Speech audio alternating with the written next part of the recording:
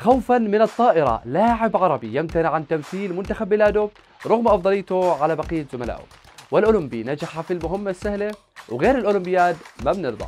وتوقعات بمهمة جديدة لحمد. حلقة جديدة من جريلتا خليكم معنا.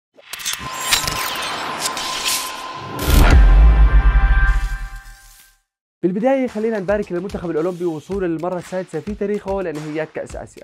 والحلو بالموضوع أيضا أنه منتخبنا بعمره ما غاب عن النهائيات الآسيوية هو وعدة منتخبات أخرى. والإنجاز الأبرز كان في العام 2014 والمركز الثالث. منتخب بقوده المدرب عبد الله أبو زمع وضم لعيبة ما شاء الله. عندك من الحارس للدفاع على الوسط للهجوم كلهم فعليا نجوم.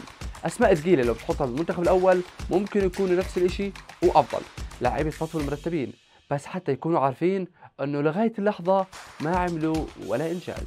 المنتخب اللي بضم الحارس المميز أحمد الجعيدي ومدافعين زي دانيال عفانه وعرفات الحاج ولاعيبة وسط زي عمر صلاح ووسيم ريالات وهجوم زي أمين الشناينه مهند طه وسيف درويش ورزق بني هاني والعديد العديد من الأسماء. مطلوب منهم كثير بكأس آسيا. النفس على البطولة يا ريت والله.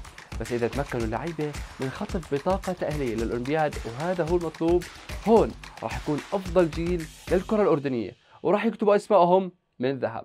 في لقطتين من المباراة الأخيرة للمنتخب الوطني مع سوريا عجبوني. واحدة بينتها الكاميرات وهي العناق الحار بين أبو زمع والشنانة والثانية للي ما تابعها التلفزيون ما انتبه لها زي ما إحنا حضرناها الملعب وشفناها. وهي الرقابة اللصيقة والقوية اللي فرضها درويش على أهم لاعب في المنتخب السوري رقم 10 محمد ريحانية سألت سيف بعد المباراة رحت له على الغرفة بين الشوطين ولا كيف؟ أنا شفت بعيون اللاعب السوري الفرحة بعد ما تم تبديل سيف درويش في آخر دقائق المباراة. المهاجم الفلسطيني شاب القنبر واللي بنعرفه كلنا أكثر لما لعب مع الوحدات الموسم الماضي. نعرف إنه هو من أحسن لاعبي فلسطين وهداف الدوري بالمواسم الماضية. بس له سين ما بمثل منتخب بلاده. يا ترى ليش؟ القنبر مثل منتخب بلاده مرات قصيرة جدا ومنهم في 2018 لما لعب مع فلسطين في دورة الألعاب الآسيوية اللي كانت بأندونيسيا وسجل هدف بمرمى لاوس في دور المجموعات يعني أموره تمام لحد هون القصة وين بلشت؟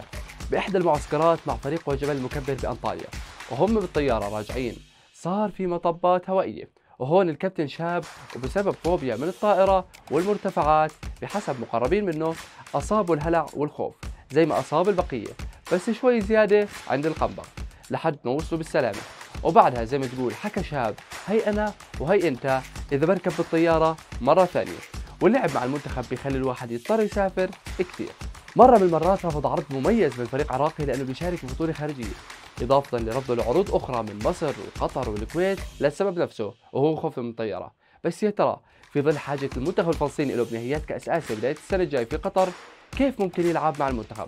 طبعا إذا بده ممكن يروح من فلسطين للأردن للسعودية لقطر بر طيب يا مهند ليش حكيت هالقصة تحديدا هذا الأسبوع؟ لأنه القنبر مع فريقه المكبر رح يلعبوا أول مباراة لهم بكأس الاتحاد الآسيوي الأسبوع الجاي على ملعب الزرقاء مع الفتوة السوري بس الطريق بين فلسطين والأردن ما بتحتاج طيارة والكابتن شهاب رح ينورنا من جديد هون واللي بيحكي ليش ما حكيت عن المنتخب الأول والخسارة الجديدة مع أذربيجان. احضر الحلقة الماضية وشوف على مين حطيت الحق. وبنطبق الكلام على المباراة الثانية.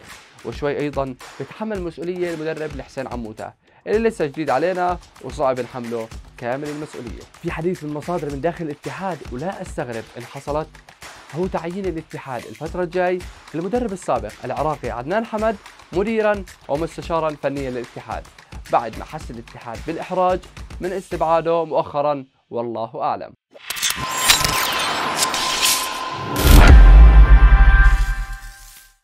وسؤال حلقتنا لليوم بيحكي عن كم هدف سجل شهاب القنبر مع الوحدات سواء بطولة دوري المحترفين أو كأس الأردن الموسم الماضي. اتركوا إجابتكم بالتعليقات. وقبل الختام احكوا لنا كيف شايفين التغييرات على الحلقات الماضية. إن شاء الله أحلى. وطبعا لا تنسوا تتابعوا شبكة منصات على جميع مواقع التواصل الاجتماعي. like على الفيسبوك follow على الانستغرام subscribe على اليوتيوب. واستنونا في الحلقة الجاي معي أنا مهند جويلس دمتم في أمان الله وإلى اللقاء.